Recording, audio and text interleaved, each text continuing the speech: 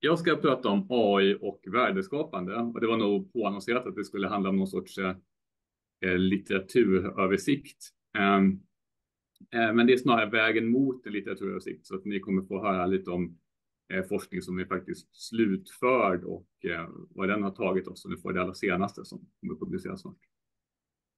Eh, som sagt, Antonio Molin heter jag. Jag jobbar på Försäkringskassan, förutom att jag då är samverkansdoktorand på Forskarskolan Digital förvaltning.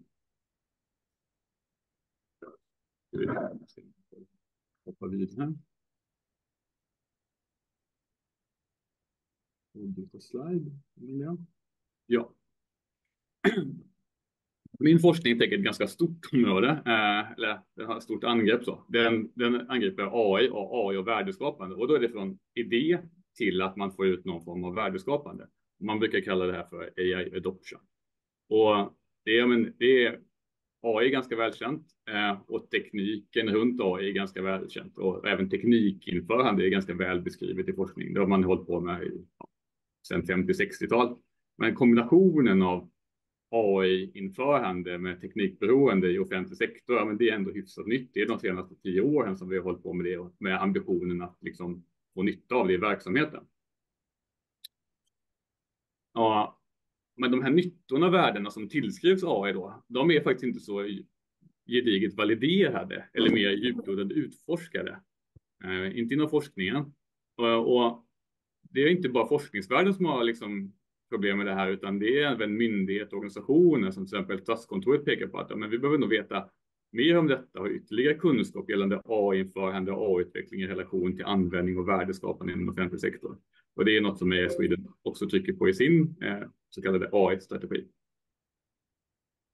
Och det här med värdeskapande då eh, och, och, förväntningarna på AI, eh, det, det är någonting som Eh, ja, mycket av det, i alla fall i offentlig sektor, det kommer ett antal dokument under sena 10-talet mellan 2015 och 2020 någonstans, eh, där man hade olika typer av policydokument, det kunde vara Vinnova eller olika regeringskanslier och så vidare, som, som uttryckte att det här är förväntningarna vi har på AI.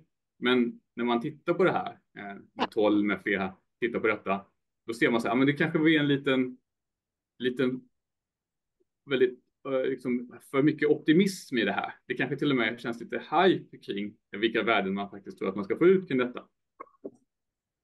Och parallellt med detta ungefär samma tid så bör man också konstatera, andra forskare tittar på så här, ja, men man behöver också organisatoriska förmågor för att kunna dra nytta av så här komplexa eh, eh, digitala system i liksom offentlig sektor. Så då har vi liksom två saker som växer fram eller som finns och konstateras samtidigt som Försäkringskassan utvecklar sin förmåga och bygger sina förväntningar kring vad AI ska handla om och vad det ska leverera. Eh, det, vill säga, det finns väldigt optimistiska eh, idéer och man har ett väldigt fokus på att man faktiskt måste också bygga förmåga. Och för att liksom studera det här, då har jag tittat på fallstudier, tittat på eh, sammanhang på Försäkringskassan.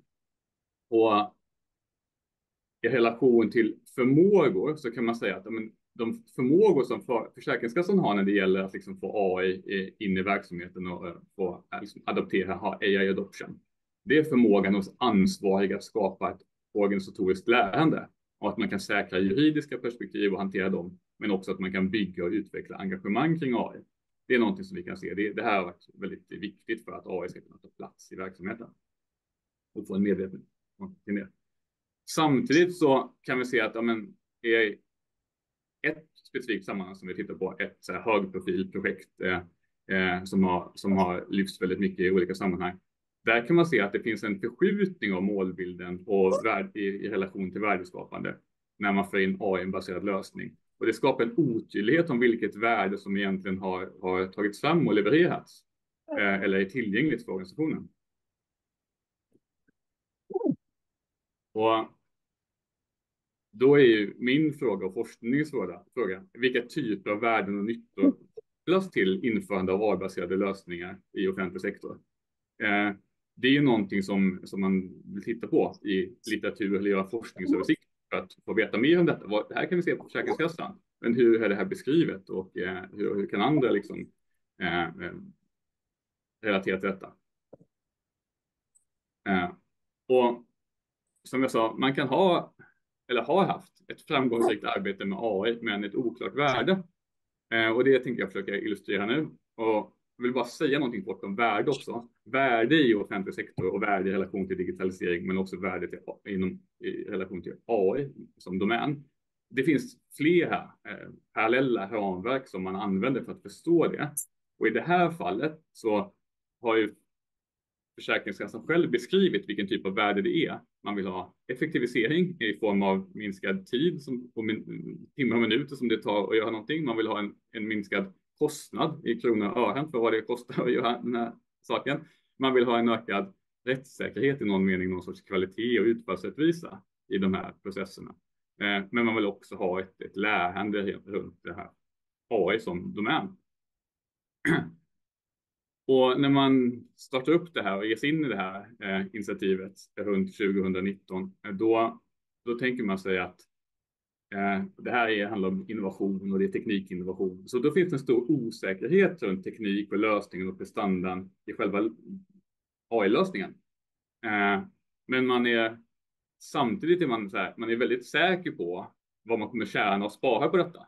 Man har ju sitt estimat med eh, till det här datumet 2023 så ska vi ha sparat så här många kronor eh, när vi har eh, lanserat det här mm, tjänst eller programmet, lösningen för så här många handläggare. Men då kan vi se under projekttiden att man har, man har väldigt, inte väldigt lätt ska jag inte säga, det var ju förenkla det, men man kommer framåt på det tekniska området. Det tar tid och det kostar pengar. Det tar mycket tid, mycket mer tid än man tänker sig, men man har liksom en kontinuerlig utveckling eh, och, man, och, man, och man levererar det som man säger sig ska göra. Samtidigt så justerar man ju så kallade ändringsbegäringar där man börjar stryka eh, effekter som handlar om vad kommer vi tjäna på detta. Det tar vi bort. Det tar man bort överhuvudtaget. Det får vi mäta sen. Eh, och man, man sänker också förväntningarna på hur mycket eh, vad, vad påverkan det här kommer ha på rättssäkerheten mot vad man hade initialt. Då. Och det skapar ju en bild av så här, vilket värde är det som har skapats? Någon kanske då kan uppleva, nej men det skapar ju inte något värde. Det blir ju inte den här return on investment som, som var sagd vid projektstart. Å andra sidan så kan man säga, men fantastiskt mycket förmåga runt AI-området. Eh, vi har fått modeller att fungera, vi har fått verksamheten att komma in och göra helt nya saker. Eh, det är övervakad maskininlärning. Man har byggt jättemycket kunskap och lagt jättemycket tid och skapat gränssnitt och allt möjligt för att medarbetare av experter inom handläggning av, av, av socialförsäkringen kan eh, bedöma huruvida AI-modeller presterar bra eller inte i relation till, till de frågor man ställer. Det har man byggt jättemycket kunskap. Men om den här kunskapen sedan är, är någonting som eh, kommer effektivisera eller öka de här värdena som man gick in med från första början, nej, men det vet vi fortfarande inte.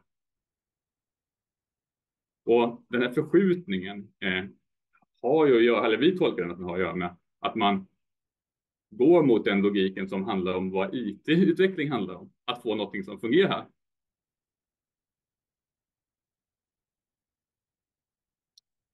Eh, och vad kan man säga mer om detta i relation till värdeskapande? För värdeskapande är ju också i relation till vad man förväntar sig, vad man har för ambition. Eh, så då blir ju strategier för hur man hanterar AI ganska viktigt. Eh, och men också hur man dokumenterar, följer upp och utvärderar AI-satsningen. Och, och där trycker Statskontoret på det här och det ser man också att man behöver nog följa upp och vara ännu tydligare hur man utvärderar den här typen av eh, initiativ och strategier som kan stödja AI-införandet, som det kan luta sig mot, så man kan koppla indikatorer mot den här användningen och värdeskapandet som man, som man förväntar sig kan också vara väldigt liksom, nödvändigt att ha. Eh, för värdet av AI kan ju, som vi ser här, det kan ju vara både direkt och indirekt. Det kan vara kopplat mot en hård leverans, en output, men det kan också vara mot vidare effekter inom organisationen eller i samhället. Och här är det ju effekter inom organisationen, en högre kunskapsförmåga. Man har byggt AI capabilities, eh, digital capabilities, eh, som, som vi såg tidigare, liksom, som beskrivs som en, ett villkor nästan för att vi ska kunna jobba med AI och digitalisering överhuvudtaget. Och ja, vilka rekommendationer skulle jag göra kring värdeskapande AI och AI adoption då utifrån det här som jag eh, eh, har sett här tillsammans med mina handledare och forskarkollegor? Det är att återigen att dokumentera, följa upp och utreda den här typen av satsningar, precis som man dokumenterar och följer upp annan utveckling och verksamhet som är viktig för Eh, och man måste kunna skilja på det här med de potentiella och realiserade nyttorna och värdena.